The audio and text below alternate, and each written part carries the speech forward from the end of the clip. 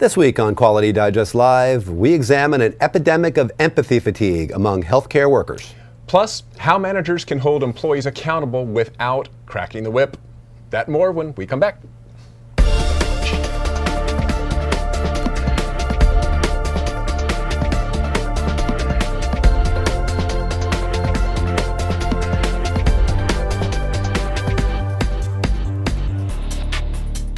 TrackWise by Sparta Systems enables quality, manufacturing, and regulatory affairs professionals to streamline processes, consolidate redundant systems, and reduce manual operations for increased revenue. Visit spartasystems.com. Welcome back to Quality Digest Live for December 16th, 2011. QDL is your weekly look at who and what is making the news in the world of quality. I'm Mike Richman, publisher of Quality Digest. And I'm Quality Digest editor in chief, Dirk Dusharme. In the news this week, NIST has announced it is accepting proposals for funding a broad range of potential research projects that support the Institute's measurement science and engineering programs. Among the nine measurement science and engineering grants are those for the Material Measurement Lab Grant Program and the Physical Measurement Lab Grant Program. I mentioned those two because those are the two that are probably most relevant for our audience. Mm-hmm. Uh, the Material Measurement Lab uh, grant covers fields such as chemistry and biochemistry, ceramics, metallurgy, polymer science, surface science, and other related material science projects. Mm-hmm. Uh, the Physical Measurement Lab grant covers basic physical measurement and classic weights and measures. So during the fiscal year of 2011, the combined MSE grant programs funded a total of 86 projects, uh, totaling about 15.6 million dollars. Mm-hmm. Uh, the funding generally goes to support scientific or engineering research, can be used in other ways, conferences, and so forth. Uh, for more information on the submission guidelines and deadlines, visit the link in our story, which is right beneath the player. In the story itself, there is a link to the grant programs. Great. Thanks, Dirk. Also in the news this week, something that's near and dear to my heart how exceptional service leads to greater sales. But what does it say about quality? Accenture, a global management consulting firm, recently announced the results from a survey of 1,000 U.S. consumers. The subject was the effect that post sale service and support plays in influencing forthcoming buying decisions for products such as automobiles, home appliances, and consumer electronics. Now, on the one hand, the results were not very surprising. 26% of those surveyed indicated that service and support were the most important factors driving purchasing decisions. Fair enough. However, just 13% of respondents said that the quality of the product itself was the most important factor in their purchase. So, in other words, twice as many people found service rather than quality to be the greatest influence in choosing which product to buy. In a way, in a way that kind of sounds that the products are kind of a wash, so they're being judged based on Service. service. Well, right, okay. I, I, personally I found that to be much sure. of a surprise, really. That for so many consumers, as you say, the prompt and efficient service to repair the expected problems is more important than the inherent quality of the product itself. so funny. Th- this this perception, and I don't know that it's necessarily a correct perception, but this perception among U.S. consumers of poor quality in the products coming out of these these very important manufacturing sectors is one of which all of us in the industry certainly need to be aware. So, for more details on the survey, please click again below the link. Uh, pl- please click uh, again below the player for the link on this story. Okay, our next story is near and dear to my heart. Um, this story is called Researcher Takes on Empathy Fatigue in the Workplace. Uh, this came from UC Berkeley News Center. And the kicker here is distancing and dehumanizing behavior actually compounds the problem of empathy fatigue. Now, the reason this is interesting to me, this has to do with healthcare workers. They are a a special type of customer service representative. They don't think of themselves that way, but but they are. They're the frontline customer meets the road for the healthcare industry. Sure. And my wife is a nurse, so I have a particular uh, particular knowledge in, into into some of this. Um, what this article deals with is that particularly for healthcare workers, um, they're working in a stressful environment. You're dealing with uh, you're dealing with people who are physically ill. They're emotionally distraught. Uh, sometimes there's psychological problems. And as a nurse and dealing with this day in and day out, it can be very stressful. And they start to uh, be, get, get on the job kind of stress uh, fatigue and job burnout. And one of the ways of coping with this for many of them is to start to distance themselves emotionally from their patients. And uh, kind of, we, we, they refer to it in this article as empathy fatigue. So they start to, rather than to um, uh, become kind of emotionally integrated with, with their parent, uh, with their patient, and understand them and, and, try to see where they're coming from emotionally, they start to back off. Which makes perfect sense. Sure, they see it as a way of protecting themselves because they're getting they're getting overwhelmed. Sure. The problem is that well, there's two problems. One is from a patient care perspective, not good. Because one of the things that patients look for is not just somebody to come in and fix the meat. It's to fix the it's to fix it's to help emotionally in, in the support. So when, when a nurse starts to detach themselves it's not good for the patient. The interesting thing though that's kind of common sense. The interesting thing the study is finding uh, this study is being done by by the way by uh, a doctoral student uh, eve ekman eve ekman mm-hmm. um, what she's finding is that it doesn't help the nurse either this emotional distancing actually compounds their stress problem and for kind of a common sense reason. And she has a great quote here. I'm going to go to my, uh, go to my slide here. About empathy fatigue, uh, Eve Ekman says chronic stress can lead to a sense of helplessness that can cause people to withdraw emotionally from their work in order to protect themselves. But dehumanization leads to a lack of work fulfillment that can prevent people from doing their jobs it's a, well. It's a feedback loop. It, it, yeah, exactly. It's a, it's a feedback loop, and it causes this vicious cycle where I'm stressed, so I'm going to kind of pull, pull back, back, from my patient, but now I'm not feeling fulfilled because part of my reason to be a nurse or a healthcare worker is to, is to work with people. Is to have this yeah, connection. Sure. And so now I'm, I'm less fulfilled, so now I'm more stressed, and it's just a spiral. It doesn't work. So what her study and the direction she's going with with her study on this empathy fatigue is to use something which she's calling clinical empathy. And let's talk about, let's, let's, I'll describe to you, or let her describe what clinical empathy is, and then we'll touch on this a little bit. Clinical empathy is the key to practicing clinical empathy is to be engaged and curious about the life narrative of a of a client, but not become lost in a sympathetic merger with the client. So you want that you want that emotional connection, but you don't want emotional involvement. You've, you've got to be able to be able to empathize with what they're going through, gather information from them, talk to them, listen to them, become involved without becoming, uh, uh, as they say here, a, a, sympathetic merger. It's the same as in any relationship, in this one in particular, but where you need to have boundaries. You need to understand what the boundaries are and, and how you effectively manage that. Now, in this environment where, where you're talking about nursing in particular, certainly that's going to be a greater risk because, as you point out, people get into this profession because they're naturally right, right. empathetic and they want to help people and people that are, that are sick or hurting. So there's a tendency to want to do that, but when you do that, the burnout many times follows, and you start to shut down. And right. again, what Eve is saying, when, when, and what she's saying is actually to go the opposite direction. Is in order to combat uh, and I think she's suggesting here, even though they don't talk about it really in this particular article, is to kind of nip it at the bud, is to prevent uh, this kind of stress from occurring and, and, to prevent job burnout from happening in a healthcare environment, is that they should be encouraging uh, what she calls clinical empathy, where rather than pull back, you should be practicing involvement with your patients. If you do that, your patient care is going to be better. You're actually going to avoid or, or help mitigate uh, job burnout and uh, raising the quality of healthcare and also making yourself feel better about your job and, and avoiding this, this burnout situation. Sure, but buffering yourself to a certain point from, from the exposure to it right. so that you understand going in the risk factor that this Right, involves. like say, it's, it's a balance. Yeah. It, it's a balance. You don't want to get you don't want to get over involved, but you want to you don't want to pull yourself out of the e- equation uh, mm. completely. And anybody I, anybody who's been in a hospital have have met nurses or, or other healthcare professionals where they have obviously pulled the plug. I mean, they're there, they're giving you the shots, they're taking your blood pressure, but as far as you as a human being being there, they checked out a they long time out. ago. Yeah. yeah, yeah, and it happens, and we know why. I mean, yeah, yeah, it's a stressful job. It's a yeah. stressful job, and not only that, but I mean, we've had a lot of there's been layoffs. There's been more people who are still there, are working longer hours. Caseloads are going up. The number of patients they're seeing, and that's the census, as you talked about. The census is, is, is gone up in many hospitals. They're driving the census up in order to get the most bucks.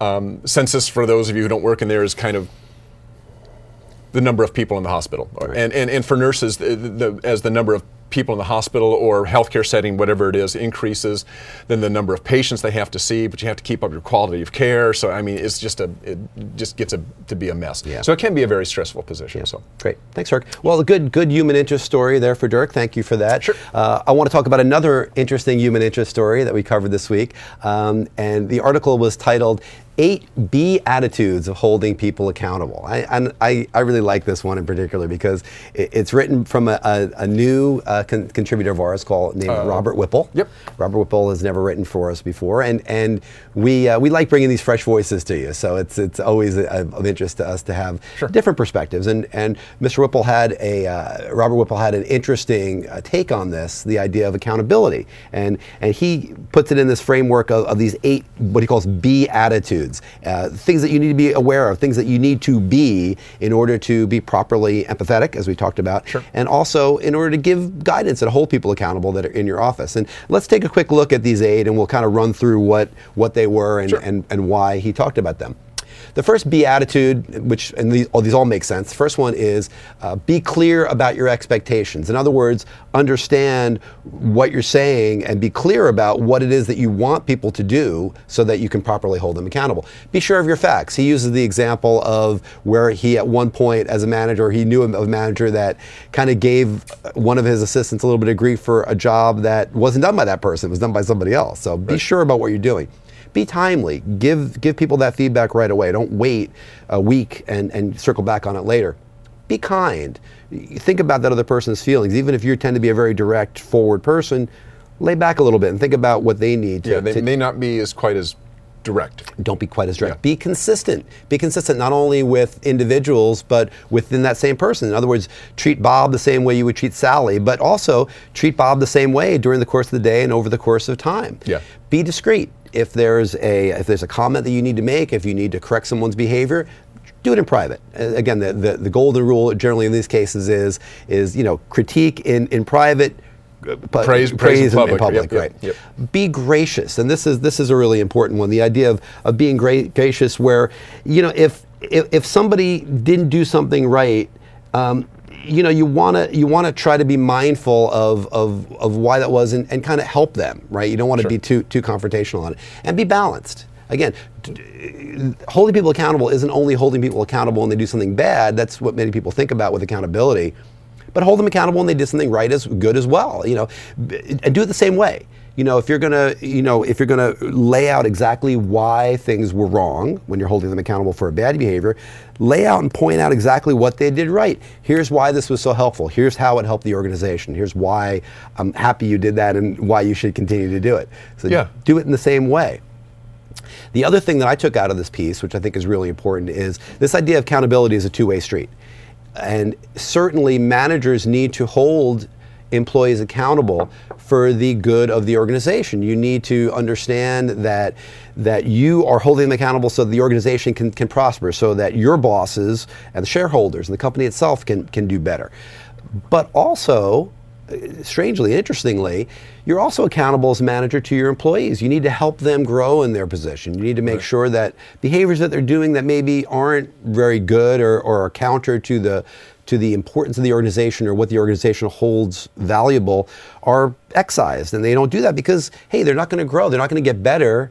They're not going to grow in the organization or in their careers if they continue to model those bad behaviors. See, and, and I would, I would, um, uh, I would argue that the the the accountability. Oops, lost a slide. Um, being being accountable uh, should probably be right at the very top of the. Uh, uh, accountability should be at the top of the list. I mean, Sure. everything starts with we, we're all accountable to each other for the, the environment that we have and how we relate to each other and understanding of our job.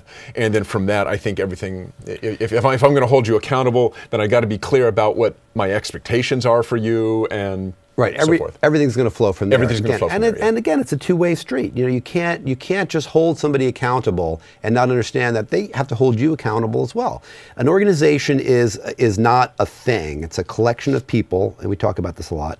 It's a collection of people that have a common goal, and you're all in it together. You can't just say as a manager. Hey, that person's terrible. I'm going to give that person a lot of abuse, and eventually I'm going to fire them. I mean, it happens, unfortunately, Sure, in many yeah. cases. But if you do it that way, you're never gonna basically help the organization grow in an organic way, where improvement really happens and takes takes root. So.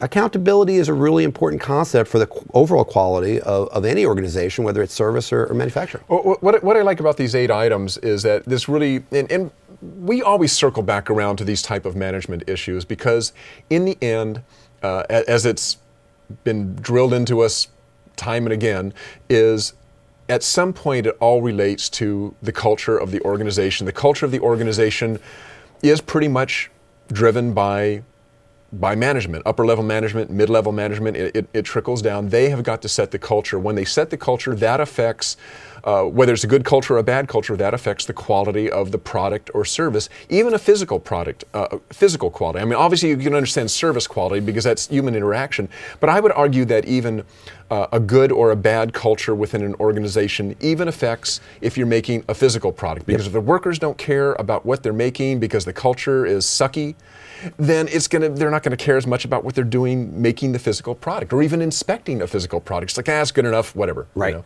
right. They're not gonna grow. The company's not gonna succeed. Yep. It's just we talk about feedback loops. That's a negative feedback loop yep. that's very easy to propagate. So we want to try to avoid yep. that. Good story. Great, great. Yes, and uh, a couple of good, actually a couple of very good human interest stories this week. Uh, so we're gonna move from human interest stories, which we cover a lot, that kind of what we call the softer side of quality, and we're gonna move into this week's Tech Corner. Uh, this is a unique Tech Corner for us. It's the first time we're having a tech corner and our Studio B. Now, what we've done, and you've seen many times, is that Dirk will, will a, a tech corner and he'll have what we call our, our gauge cam, and that'll be the camera that'll be kind of over the desk here, and we'll look at a small piece of equipment. Well, this week's tech corner, we have a slightly different uh, piece of equipment that we're going to be looking at. It is from QVI. It's their new Snap dimensional measuring machine, and we're going to throw it to Dirk now and have him look at it. Take it away, Dirk. Okay, thanks, Mike. Um, yes, well, we're in our uh, new setting here, Studio B, which is 2,000 centimeters, do the math, from Studio A. Um, and with me today is Chuck Marks. Chuck is the regional uh, manager for optical gaging products, OGP, and he's here to show us uh, a fairly new product from OGP called the, uh, the Snap. The Snap is a Tell me what it is again? Digital measuring machine. See, I want to call it a vision system, but he calls it a, a digital measuring machine, right. which is just a vision system, right?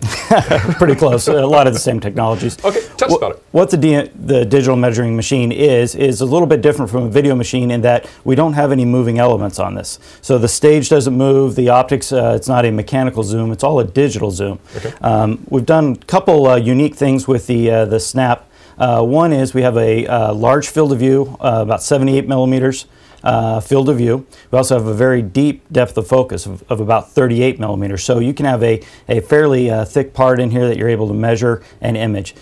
So the you can measure from the top of the part to the bottom of the part up to an inch and a half. Right now, it's, all, in focus. Right, it's all X Y measurement on this, but okay. you're able to see any of those steps at, at the different heights. What what we did is we have a telecentric zoom system in here. Um, we're very familiar with uh, telecentric optics on both our comparators and our video lines, um, and so we've been able to take that technology that we've learned and apply it in a uh, a large format measurement system. Um, very shop floor uh, ready. So th so this might be. Uh, th this, in a sense, is is kind of a well, you probably wouldn't call it this, but an optical an optical comparator on steroids. It's, it's a two it's a two D measurement system, but with with depth. Right, that's correct. Okay. Um, not only one of the uh, challenges with a uh, comparator is the ability to image the surface, and uh, what we'll see here with some of the lighting uh, techniques is uh, you're able to look down inside parts, do measurements inside parts, which you really can't do sure. with a, a optical comparator. So I understand what, what we're going to do is we're going to show how easy it is to program a part, mm-hmm. and then and then show what it would be like for an operator to actually run a run a part once once it had been programmed. Once it's right? created. Okay. Yep. Yeah. Well, so what we're going to do here is we're going to start with just a fairly simple uh, stamp part, 2D type measurement, and it's very easy to do measurements. Um, the the second major feature of the uh, the Snap is the MeasureX uh, 2D software. Now we've been making uh, MeasureX 3D uh, software for a number of years. The 2D is uh, simply an XY uh, measurement software on that. Okay. So we could take a. so we can get a screenshot on this. Okay. Great. Yeah. So uh, if we want to do, for instance, just a line, we could just click and drag, and I don't have to be right on the edge. I just bring it up, and then the edge detection does all the work. As you know, with uh, you know mechanical uh, instruments, yeah, the two of us can measure them yeah, differently, right? different, yeah. So what we can do here is we can uh, we let the the system do the measurement for us. So as we begin to build a uh, a little inspection, every time I make three clicks and see here it makes a circle uh, gives us a diameter, and as soon as I say OK, that saves that, that particular step in the, okay. in the uh, program. In a, picking up a radius? Yeah, sure. Pick up a radius. We just click it. Notice it'll say that uh, we're going to start with a uh, circle or an arc, uh, take the three points, and it'll go ahead and do the measurements.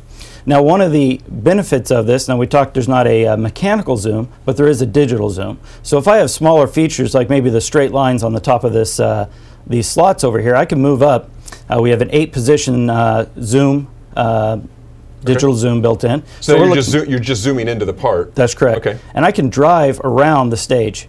All right. Even though the stage isn't moving, uh, very similar to if you're familiar with using a video machine. Sure. Uh, you can drive around inside the the camera array essentially, and so we can begin uh, doing these. Continuing our programs, measuring some lines, doing whatever widths and, and measurements we have to do. Uh, does it measure angles as well? Yep, I could construct a intersection between those two lines, get the Okay. uh, the angle between them. Okay. Sure. Um, from here, I can go ahead and just run the program.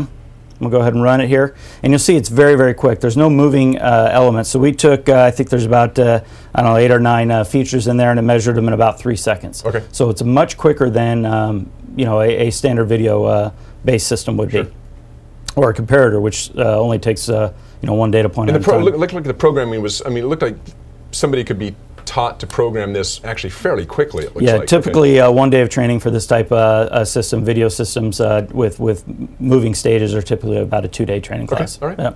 Now, one of the things uh, we've done to to highlight um, is a uh, you know when we get into a little more prismatic parts. Okay, we have a uh, adjustable uh, stage that can go up and down up to four inches. So if you have a part that's got some features on one end of it, you know it's not very flat. We can drop the stage. We can raise the stage to uh, make sure we're able to to bring those features in in focus. Okay. Now I noticed this, this part you put on there, just so people know, that part looks may, maybe half an inch, 13 millimeters or so in, in, in Yeah. height. Yeah, and so the, right. that entire that entire part will be in focus from top to bottom. That's Okay. correct. That's correct. Um, one, some of the uh, the features we have, the lighting. Uh, you know, as you look on the screen here, you can see that uh, we have a backlight, so it looks very much like the comparator you you uh, Sure. mentioned. Uh, we also have a direct surface illumination. Uh, direct surface illumination lets us see down inside the part. Uh, looks pretty good, but we have another set of lighting that actually will really make the internal features kind of kind of pop, and that's our ring light. So we bring in our uh, uh, ring light in here. We can control the different sections of it and the different angles as we bring these lights up.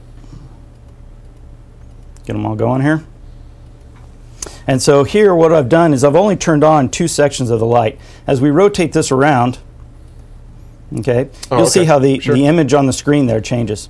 Now what happens there is when we look at a CAD model, the edges are always nice and square. And then we, as we know as, as manufacturers, that's not always the case when the part Right. comes out of the mold or off the machine. There's going to be break edges. It's very important with a video system that we we're not measuring the part, we're measuring the image of the part. So we have to present the most crisp image we can to the uh, to the uh, camera array to do the measurement. And so the I know on this on this ring light here, so you got eight segments. You can select which segments which segments you want on. Absolutely. Uh, and that gets programmed into the uh, gets set into the program right, as well. right. Okay. That's all part of the uh, the, the method there. Now I notice uh, looks like the ring light. Uh, looking at the reflection here, looks like you got two different colors, red and green. That's correct. Uh, we have uh, what you can do is um, every other uh, section is a different color, so you can turn on all the green or all the red. Now that may come into play if you have different color plastics. Sometimes certain lights uh, illuminate better. We also did it for a lot of the circuit board, the PCB uh, type applications. It also will illuminate the gold trace or, or maybe some of the wiring traces a little better depending on what color you have. So you just pick which color you pick which color you want. Uh, Right. And you do that from the setting is here as well. That's Okay, correct. Right. That's correct. So one of the things we really wanted to highlight uh, with this system is simply an, an ease of use uh, type environment. Um, so because you, you have very little uh, uh, uh, experience on here, so we're going to take this uh, this part we have and we're just going to put it on the stage and we're going to show you how you can open a program and run it without really having to know how to use uh, the software very much. So I'll let Okay. Even a uh, magazine editor load the part even, on here. even an editor. Yeah. Even an editor can do it. yeah. Okay, so I just dropped this. Uh, I just make sure it's what roughly in the roughly in the center of the, the screen. That's correct. Roughly in the uh, center. press this button. Well, let me go ahead and, uh, and we're going to open the program. Now, what we've done for a lot of customers is we'll go ahead and we'll incorporate a uh, barcode scanner. And then you could walk up with your parts, you have your tray of parts, you have your traveler with it. Your traveler probably has a barcode or an RFID or something like that. You're able to scan that, you're able to get it to open the program for you. And now on the front panel right here, we have a uh, run and an OK, Okay. button. So if you want to press the run button there, All right. and uh, so it came up, says okay. you're ready. You go ahead and say OK. And now what the system's going to do, yeah, I got to mess it, press it down there a little bit. There we go. So the system went in And uh, it's going through and it's doing all these measurements. And there's about 85 different individual steps that are being measured on this uh, Okay. program. And you can see the, uh, the entire runtime was about 10 seconds. Okay. So it's very fast because we don't have any moving elements. Now, I noticed on this side, is this actually a, a, a CAD model of the uh, uh, of what we're measuring, or is this or is this what's actually being measured? Right. This is a graphical representation of what we've measured. Okay, so, okay. so come, now you'll notice we do have the flyouts showing the different dimensions, the different Okay. sizes. Uh, we can incorporate CAD. We can fit the data points over to uh, a CAD model and do uh, you know GD&T uh, type uh, profiles and, and, and true position and, and complex true position callouts. and you would just export out of here into. That's correct. Okay, into- okay. That's correct. Okay, Yep. great. Um, so. Uh, Tell me again. This was this took about this. How many steps did this have, or how many features did we measure? uh, this measured, I think, uh, 81 different in, uh, items. It took like ten About 10 seconds. or something. seconds, yeah. Okay. Yeah. Right, and you and I think you said in, this case we pulled we pulled the measurement routine down from a file. File You're saying open, it could be done with a RFID scanner or a barcode That's scanner correct. or whatever. That's bring correct. it in. Okay. Yep. Uh, what's the accuracy? Uh, accuracy on this is at low mag, we're at 10 microns. At high mag, we're at uh, 5 microns accuracy. Okay. Yep. Um, what about the market? I mean, who is this primarily intended for? You know, it's really there's a benefit of uh, QVI as a whole is we're really not uh, segmented into any one market. So we do a lot of work in the medical device industry. We do a lot of plastic injection molding, uh, government labs, um, you know, aerospace, military, all sorts of different uh, markets. So really, what it's designed for is customers with uh, you know fairly small parts, you know, under three inches, uh, with a lot of features in them that, that can be seen in one pass and very quickly. Okay. Now, you, you mentioned that the, the depth of focus is, uh, I think you said about 37 millimeters? Yep. yep. Okay. Uh, it's about an inch and a half. So if if you had a larger part, Mm-hmm. um, you could just focus. You could focus on whatever area of interest on that, as long as it fit within the volume of, of the machine. That's right? correct. And- We have a uh, adjustable Z down here, so we could just raise or lower the, the stage up and down until we get to uh, that area in focus. Okay. All right. Yep. Terrific. Um, Where are these? Uh, where are these uh, available? Uh, where actually? Where are they made first? Okay. Uh, Quality Vision International um, is a, a recently ISO uh, uh, 9001 Okay. certified company, and we're headquartered in Rochester, New York. Um, and you can uh, look for these systems uh, with any of the either the uh, RAM optical distributors as well as any of the optical gaging products uh, representatives. If you want to find out more information, I think there'll be a link on the uh, the flyby here that Uh, right. There is Right. a actually. There, there, I think there's a link on the screen. There's also a link uh, to the Snap product in particular uh, underneath our player at the very bottom. Hmm. Um, where are these manufactured? uh, Rochester, New York. Oh, the right mention. Okay, Yes, sir. Yep. American made. All made in America. Yep. Okay. Um, well, Chuck. Thanks a lot for showing us the, the QVI Snap. Uh, if you have more questions on this product, um, you can email us questions. Actually, let me just make sure we didn't get any questions while this was coming in. Um, if you have any further questions on this, you can email them to us. We'll forward them on to Chuck, or you can go to the link at the bottom of the page there, uh, underneath the player. The last link under the player is a link out to the Snap product. So, uh, Chuck, once again, thanks for joining Right, us no here problem. at Tech Corner. Excuse me, Mike. Uh, back to you. Thank you, Dirk, and uh, of course, thanks, Chuck, and thanks to the good people at QVI for allowing us to feature the Snap on this special episode of uh, Tech Corner, uh, on that special segment of Tech Corner here on Quality Digest Live. Always interesting to to chat with uh, to chat about good products, good techniques, and and ways to improve quality. And uh, Dirk, thank Yes, you, I'm thank you for doing that. Yeah. that was uh, that was fun. I say it was, it's, it's, it's kind of fun. And we've always had, uh, this is the, the first time where we've been able to go out and, and take a look at a larger product in Tech Corner. We've been looking at smaller pieces, but now we have a new set. Uh, it's possible to start bringing in larger, uh, larger items and looking at them. So, it's a lot of fun. Any of you have, have products you want us to look at, big or small? Tell them, Well- tell us about it. And well, big, smaller Yeah, kind of big. that big, yeah, okay. Bring them on the show. Well, I- I have one more thank you I want to want to offer here to today's sponsor. Very important thank you. The sponsor of today's show, of course, is Sparta Systems. For more than 15 years, Sparta's TrackWise software has enabled professionals to improve their processes and increase revenue. Please take a moment to visit www.spartasystems.com to learn more. We like sponsors. Yes, we do. okay, uh, keep your eyes open next week. Next Tuesday is the final special edition QDD uh, coming out, Quality Digest Daily. Uh, this one is on risk management. We've done uh, environmental and health. Yep. And now we're doing risk. Now we're doing risk. That's right. Uh, so that'll be Tuesday, uh, chock full of really interesting articles on risk management, which really, in case anybody hasn't been paying attention, is the big up and coming topic for quality professionals. Um, it's, it's kind of the next step. That's right. Uh, so you definitely want to read that and kind of come up to date. That's right. Uh, also, today is the last Quality Digest Live of the year. I know. Was a fast year? Shoo, man. How many of these have we done? Over 30. More than 30 episodes of Quality Digest Live. And they get better every time. Yes, they do. Yes, they do. they do. Oh, we think they do. We think we think so at least. So uh, yes, so that's our last episode of, of QDL. We're not going to have a QDL next week. We won't have one on the thirtieth. Uh, uh, next week, as a matter of fact, is our last week of QDD as well. We're, we're running uh, the special on Tuesday. Uh, we're running QDD Monday, Tuesday, Wednesday, Thursday. Then we're taking off on Friday, and then we're off all next week. beginning of the so year. Yep. we won't see you again until January of, uh, of 2012. That's right. And we'll be back on January 2nd with QDD, and we'll be back on January 6th with the first episode of QDL of the year. But before we go, Before we go, we want to, of course, wish all of you a great holiday. Uh, very, very happy New Year, safe, healthy, happy New Year.